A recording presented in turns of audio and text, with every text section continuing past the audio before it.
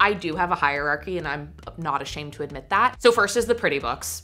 I do judge books by their cover, like a really pretty spine, uh, like a good color scheme, love it. Then books that are important to me. So my favorite books, books that I've read time and time again, signed books, those definitely deserve a good spot on your shelf. Pretty books, my favorite books, signed books, books I also own.